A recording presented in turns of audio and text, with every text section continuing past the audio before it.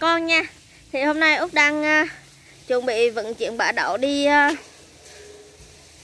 Đi uh, Bình Thuận mọi người. Thì uh, Út quay cho mọi người coi nha. Với lại qua video này Út muốn uh, uh, chia sẻ cho bà con mình là Nếu bà con mình mà muốn mua hàng như thùng phi nè Thùng phi ở bên chạy Úc này hay là mực rỉ đường hay là men gì á Mà ở Bến Tre nha mọi người. Uh, Bến Tre mà tuyến đường đi từ Bình Chánh đi về Long An, uh, Tiền Giang qua Bến Tre thì mọi người muốn mua gì mà à, tại vì cỡ chừng à, cứ tầm một tuần là 3 đến 4 ngày là sẽ có một chuyến xe để ghép hàng đi về Bến Tre thì bà con mình à, à, nếu mà cần hà gì đó thì có thể liên hệ trại Úc qua số điện thoại là 0976629090 để được ghép hàng.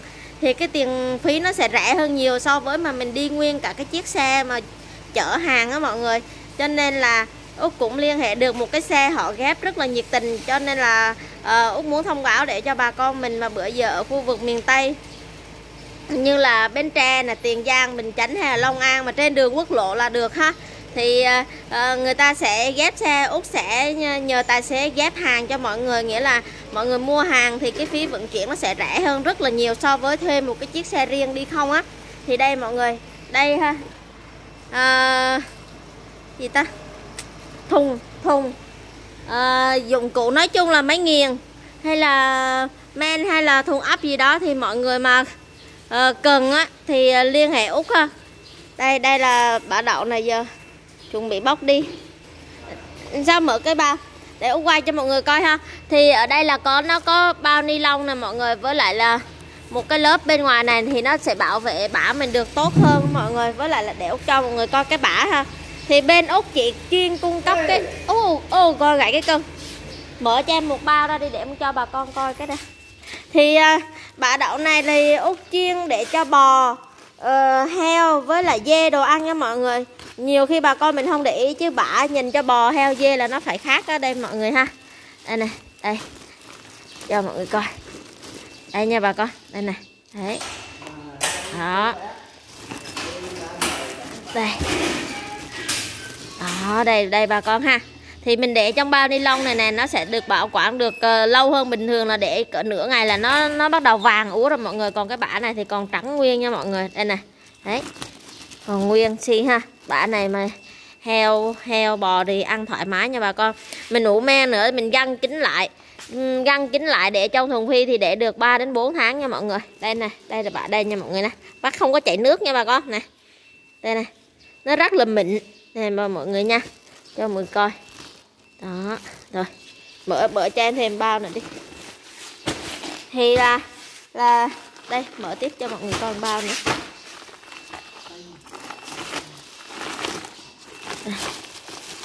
Nè mọi người thấy không? Cái bao mà nó bị bị ờ, bị lủng là nó sẽ bị lộng gió vô nó sẽ bị đen nè.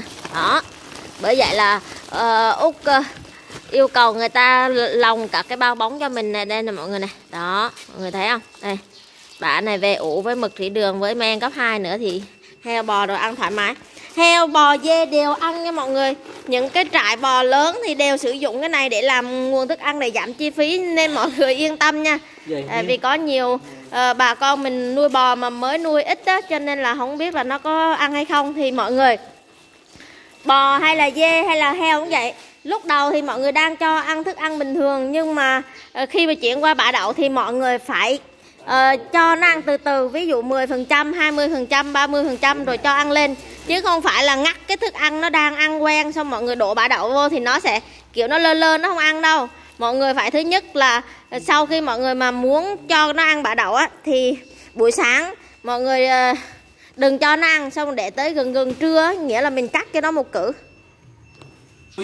Ờ. à, đây là mọi người mọi người biết sao không? Là mình không có nên cho nó ăn cắt ngang như vậy thì nó sẽ dễ bị ảnh hưởng tới cái giống như là nó đang đang ăn ngon lành mà nó mọi người đổi ngang qua thì nó sẽ bị ảnh hưởng tới cái quá trình tiêu hóa của nó nó chưa thích nghi kịp á.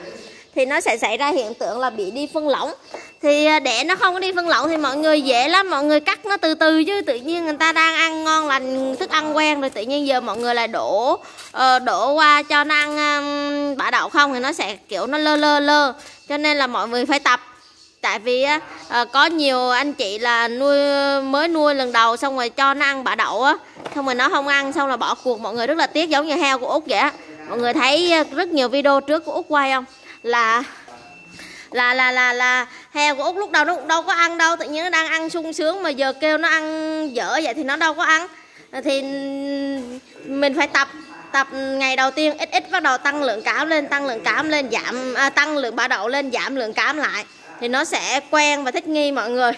Còn ờ, uh, út là không phải ăn 100% là bã đậu nên bà con mình lưu ý dùm cho út nha. Út heo của út là ăn Ờ, uh, 65 đến 70 phần trăm là bã đậu 30 phần trăm còn lại là cám bắp với cám gạo là bắp với gạo là út xay ra từ nguyên hạt út xay ra. Với lại là rau cây chuối hoặc cỏ với là trộn với ờ, ủ với men sau đó là trộn với nhau rồi cho nó ăn. Chứ không phải là cho ăn mỗi mình bã đậu mà nó phát triển được nha mọi người tại bã đậu nó có nhiều dinh dưỡng nhưng mà nó vẫn phải bổ sung thêm bắp rau xanh nữa cũng như là đạm đó mọi người đạm là protein để bổ sung cho vật nuôi đó mọi người mực rễ đường thì ở bên trại úc cũng có ha mọi người ha. Với lại là ờ, uh, 3 ngày nữa là có một cái chuyến xe đi về miền Tây Bến Tre mọi người. Trên cái quãng đường nó đi thì nó sẽ đi ngang qua Tiền Giang Bình Chánh.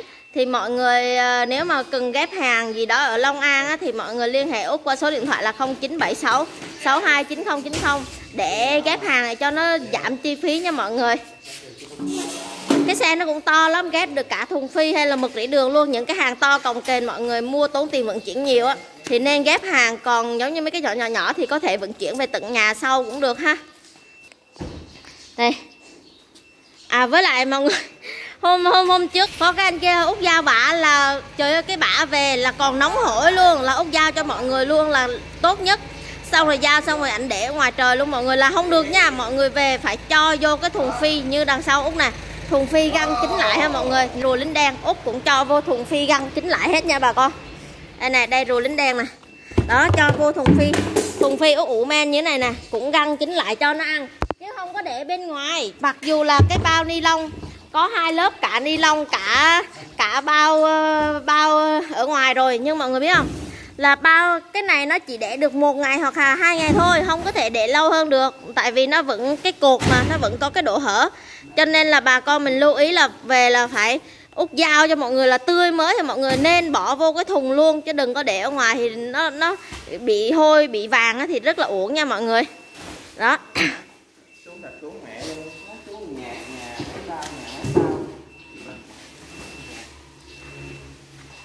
Chịu khó đi chứ giờ sao?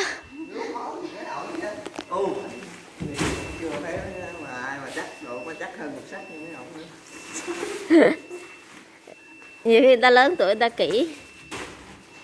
Giao có người ngày người kia chứ. Như bữa giao bên trại vịt dễ đúng không? Cái chị chị chị à, ấy ở bên trại vịt hơi bị khoái lọc luôn kêu lọc nhiệt tình. Còn chứ lộc phải ở gần đây không? Đặng chị kêu hàng đến chở ờ. À, bữa anh đi con bữa đó. À vậy hả Tại đúng rồi, mình giao hàng đồ phải nhiệt tình thì người ta mới mới ấy chứ chị chị chị, chị đó chị trại vịt mà chắc chở hàng đồ nhiều á. Đường đi vô dễ không? Trại vịt lớn không anh? Đường đó hình như là đường nhỏ. Ờ, nghĩ sao cái trại vịt? Hả? Hả? Hàng gì chị mua nguyên cả cái xe chà bá, xe ba giò chà bá để để chở chở cám luôn mà. Ờ. Cái xe bự á. Cứ không, không, hôm bữa cái anh đó là anh nói thì đó là cái xe đó là của chị đó chị mua để chở cam cứ ờ, ngày cách ngày là đi chở một cái xe mười mấy tấn á khiếp vậy hả ghê thì cái xe gì mà xe trại vịt thôi mà hả Này tán thấy nhiều lắm á tấn mà. Thôi cân lại đi. Thì đó à, nếu bà con nào mà cần à, bã bả đậu á, thì ai đặt trước thì út sẽ vận chuyển trước cho bà con mình nha nên bà con mình cũng thông cảm.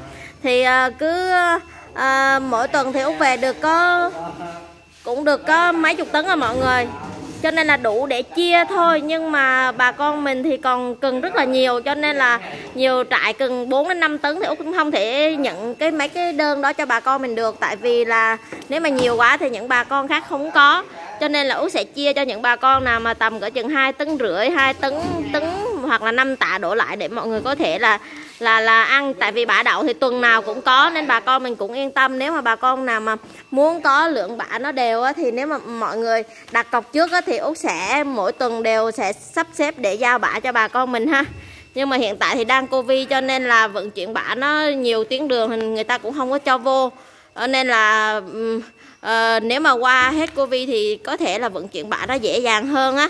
Thì uh, à, bà con mình mà ai cần bả thì liên hệ út qua số điện thoại là 0976 629090 hoặc là 076 999 0309 ha. À, đây mọi người này ruồi ruồi của út toàn ăn bả đậu không à? Với lại là à, bà đậu là ai chuyển khoản trước thì út sẽ giao trước cho bà con mình à, cho nên là bà con mình yên tâm là ờ, đừng có lo lắng cái vấn đề mà chuyển khoản rồi mà sao út chưa giao bả mà thấy út quay video mà út đã giao mấy chạy khác rồi á thì mọi người lưu ý giùm út là tại vì những cái chạy đó đã chuyển khoản trước rồi thì út sẽ giao trước còn chuyển sẵn sau thì út sẽ vận chuyển bả sau cho mọi người nha à, Bye bye, hẹn gặp lại bà con mình nha. Nếu mọi người quan tâm tới những video Út chia sẻ đừng tiếc một lượt đăng ký cũng như là để lại bình luận bên dưới để trò chuyện với Út nhiều hơn nha mọi người.